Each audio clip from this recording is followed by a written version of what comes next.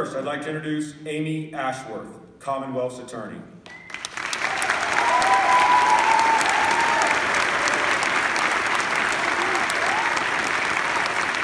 Ms. Ashworth has been a practicing attorney in Prince William County for 24 years. She spent 19 years as a prosecutor representing the citizens of the city of Manassas Park and the town of Haymarket, and as an assistant Commonwealth's attorney for Prince William County.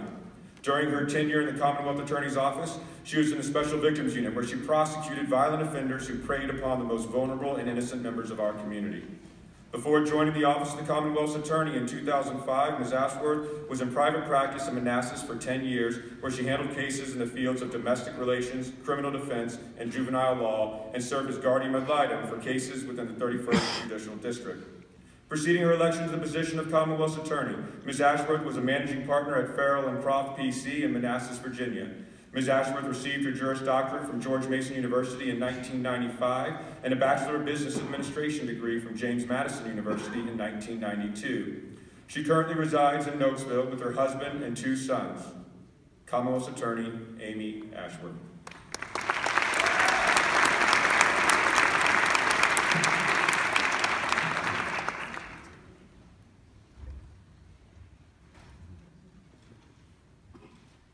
Solemnly swear I solemnly swear to support the Constitution of the United States to support the Constitution of the United States and the Constitution of the Commonwealth of Virginia, and the Constitution of the Commonwealth of Virginia, and to faithfully and impartially and to faithfully and impartially discharge all the duties discharge all of the duties incumbent upon me incumbent upon me as the Commonwealth's Attorney. as the Commonwealth's Attorney. For Prince William County, Manassas, and Manassas Park. For Prince William County, Manassas, and Manassas Park, to the best of my ability, to the best of my ability, so help me God.